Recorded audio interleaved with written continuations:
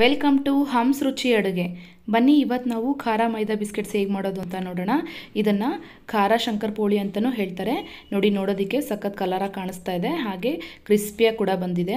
ತುಂಬ ಚೆನ್ನಾಗಿದೆ. ಮೊದಲಿಗೆ ಮೈದಾ ತೊಗೊಂಡಿದ್ದೀನಿ ಒನ್ ಕಪ್. ಹಾಗೆ ಟೂ ಸ್ಪೂನಷ್ಟು ತುಪ್ಪನ ಬಿಸಿ ಮಾಡಿ ಇಟ್ಕೊಂಡಿದ್ದೀನಿ. One spoon chilli powder one spoon ಎಳ್ಳು, ಇದನ್ನು ಮೀಡಿಯಮ್ ಎಳ್ಳು ಅಂತಾರೆ. ಒಂದು ಸ್ಪೂನಷ್ಟು ತೊಗೊಂಡಿದ್ದೀನಿ.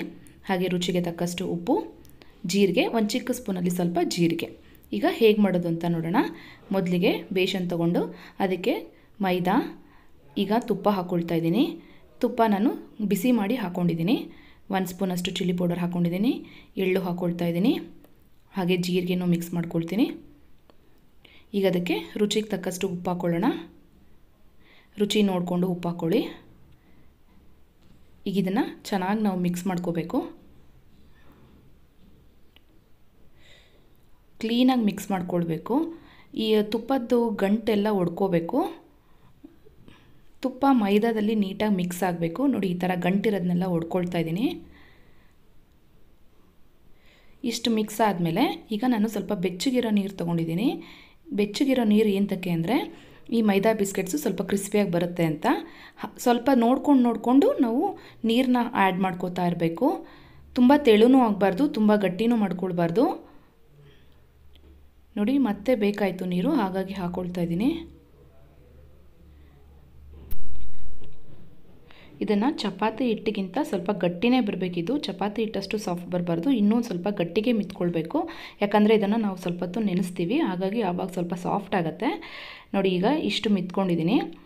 ಇಷ್ಟು ಮಿದ್ದಾದಮೇಲೆ ಇದನ್ನು ನಾನು ಇವಾಗ ಒಂದು ಲಿಡ್ ಕ್ಲೋಸ್ ಮಾಡಿ ಹಾಫ್ ಆನ್ ಅವರ್ ನೆನೆಯೋದಕ್ಕೆ ಬಿಟ್ಬಿಡೋಣ.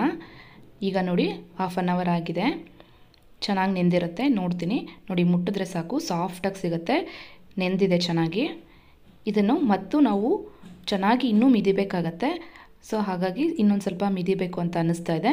ಈಗ ನೋಡಿ, ಇದನ್ನು ನಾನು ಒಂದು ಗುಂಡ್ಕಲ್ ತೊಗೊಂಡು ಆ ಗುಂಡ್ಕಲ್ಲಲ್ಲಿ ನಾನು ಚೆನ್ನಾಗಿ ಇದನ್ನು ಹೀಗೆ ಚೆನ್ನಾಗಿ ಮಿದಿತೀನಿ. ಯಾಕೆ ಅಂದರೆ ಈ ಥರ ಮಾಡಿದ್ರೆ ಒಳಗಡೆ ಕ್ರಿಸ್ಪಿಯಾಗಿ ಬರುತ್ತೆ, ತುಂಬ ಚೆನ್ನಾಗಿರುತ್ತೆ. ಈ ಥರ ಗುಂಡ್ಕಲ್ಲಲ್ಲಿ ಚೆನ್ನಾಗಿ ಮಿದಿಬೇಕು. ಅವಾಗ ನಮ್ಗೆ ಒತ್ತೋದಕ್ಕೂ ಈಸಿ ಆಗುತ್ತೆ. ಸ್ವಲ್ಪ ಗಟ್ಟಿ ಇರೋದ್ರಿಂದ ಒತ್ತೋದಕ್ಕೂ ಈಸಿ ಆಗುತ್ತೆ. ಈ ಥರ ನಾವು ಗುಂಡ್ಕಲ್ಲಲ್ಲಿ ಚಚ್ಚಿ ಮಾಡಿದ್ರೆ ಚೆನ್ನಾಗಿ ಬರುತ್ತಿದು ನೋಡಿ, ಈ ಥರ ಚೆನ್ನಾಗಿ ಮಿದಿಬೇಕು ಮತ್ತು. ಎಷ್ಟು ಚೆನ್ನಾಗಿ ಮಿದಿತೀವೋ ಅಷ್ಟು ಚೆನ್ನಾಗಿ ಬರುತ್ತೆ ಮೈದಾ ಬಿಸ್ಕೆಟ್ಸು. ನಾವು ಗಟ್ಟಿ ಮಿತ್ಕೊಂಡಿರೋದ್ರಿಂದ ಈ ಥರ ಅನಿಸುತ್ತೆ. ನೋಡಿ, ಈಗ ಇದರಲ್ಲಿ ನಾನು ಆಫ್ ಮಾಡಿಬಿಟ್ಟು ಅರ್ಧ ಎತ್ತಿಟ್ಬಿಡ್ತೀನಿ.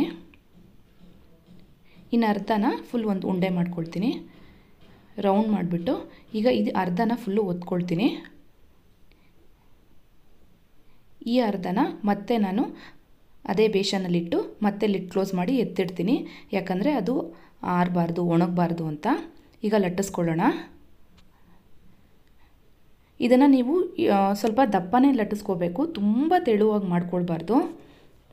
ಸ್ವಲ್ಪ ದಪ್ಪನೇ ಇರಬೇಕು. ನಾವು ಚಪಾತಿ ಅಷ್ಟಾಗಲ ನಾನು ಲಟ್ಟಿಸ್ಕೊಳ್ತೀನಿ ಇದನ್ನು.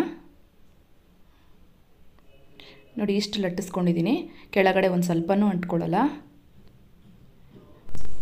ನೋಡಿ, ಇಷ್ಟು ದಪ್ಪ ಇದೆ. ಸೈಡಲ್ಲಿ ತೋರಿಸ್ತಾ ಇದ್ದೀನಿ ನೋಡಿ. ಸ್ವಲ್ಪ ದಪ್ಪನೇ ಇರಬೇಕು. ಈಗ ನಾನು ಪಿಜ್ಜಾ ಕಟರ್ ತೊಗೊಂಡು ನಮಗೆ ಯಾವ ಶೇಪ್ ಬೇಕೋ ಆ ಶೇಪಲ್ಲಿ ಕಟ್ ಮಾಡ್ಕೊಳ್ಳೋಣ.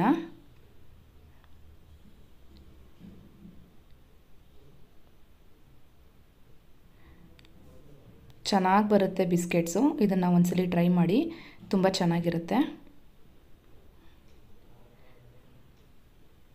ನಾನೆಲ್ಲ ಬಾಕ್ಸ್ ಟೈಪಲ್ಲಿ ಕಟ್ ಮಾಡ್ಕೊಳ್ತಾ ಇದ್ದೀನಿ. ಈಗ ಇದನ್ನು ಒಂದು ಪ್ಲೇಟಿಗೆ ಎತ್ಕೊಳ್ತೀನಿ. ಅಷ್ಟರಲ್ಲಿ ಎಣ್ಣೆ ಕಾಯೋದಕ್ಕೆ ಇಟ್ಟಿರ್ತೀನಿ.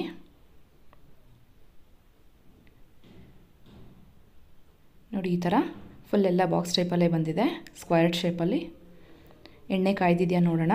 ನೋಡಿ, ಎಣ್ಣೆ ಕಾಯ್ದಿದೆ. ಈಗೆಲ್ಲ ಹಾಕ್ಕೊಳ್ತೀನಿ ಅದಕ್ಕೆ ಎಣ್ಣೆಗೆ ಎಷ್ಟು ಇಡ್ಸುತ್ತೋ ಅಷ್ಟನ್ನು ಹಾಕ್ಕೊಳ್ಳೋಣ. ಚೆನ್ನಾಗಿ ಎಣ್ಣೆಲಿ ಫ್ರೈ ಮಾಡಿದ್ರೆ ಚೆನ್ನಾಗಿ ಬರುತ್ತೆ. ಇದನ್ನು ನಾವು ಬಿಸ್ಕೆಟ್ಸ್ನ ಎಣ್ಣೆಲಿ ಫ್ರೈ ಮಾಡಬೇಕಾದ್ರೆ ಫುಲ್ ಸಿಮ್ಮಲ್ಲೇ ಇಟ್ಕೊಂಡಿರಬೇಕು. ಇದು ಸ್ವಲ್ಪ ಲೇಟ್ ಆಗುತ್ತೆ ಫ್ರೈ ಆಗೋದು. ಆದರೂ ಸಿಮ್ಮಲ್ಲಿ ಇಟ್ಕೊಂಡು ಮಾಡಿದ್ರೇ ಇದು ಕ್ರಿಸ್ಪಿನೆಸ್ ಚೆನ್ನಾಗಿ ಬರುತ್ತೆ. ಎಲ್ಲ ಒಂದ್ಸಲಿ ಉಲ್ಟಾ ಮಾಡ್ಕೊಳ್ತೀನಿ. ಎಣ್ಣೆಲಿ ಬರೋ ಬಬಲ್ಸ್ ಎಲ್ಲ ಕಡಿಮೆ ಆಗಬೇಕು. ನೋಡಿ ಇವಾಗ ಎಲ್ಲ ಕಡಿಮೆ ಆಗಿದೆ ಬಬಲ್ಸ್ ಎಲ್ಲ. ಬೆಂದಿದೆ ಅಂತ ಅನ್ನಿಸ್ತಿದೆ. ಈಗ ಒಂದ್ಸಲಿ ಹಿಂಗೆ ಟರ್ನ್ ಮಾಡಿದ್ರೆ ಸ್ವಲ್ಪ ಸೌಂಡ್ ಬರುತ್ತೆ, ಆಗ ಕ್ರಿಸ್ಪಿ ಬಂದಿದೆ ಅಂತ ಗೊತ್ತಾಗುತ್ತೆ. ಈಗ ಇದನ್ನು ನಾನು ಟಿಶ್ಯೂ ಪೇಪರ್ ಹಾಕ್ಕೊಂಡಿರೋ ಪ್ಲೇಟ್ಗೆ ಎತ್ಕೊಳ್ತೀನಿ. ಯಾಕಂದರೆ ಸ್ವಲ್ಪ ಎಣ್ಣೆನ ಅಬ್ಸರ್ವ್ ಮಾಡುತ್ತೆ ಅಂತ.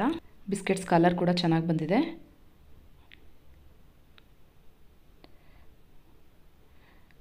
ಇದನ್ನು ಬೇಕಾದರೆ ನಾವು ಒಂದು ವಾರ ಕೂಡ ಸ್ಟೋರ್ ಮಾಡಿ ಇಡ್ಬೋದು. ತುಂಬ ಚೆನ್ನಾಗಿರುತ್ತೆ.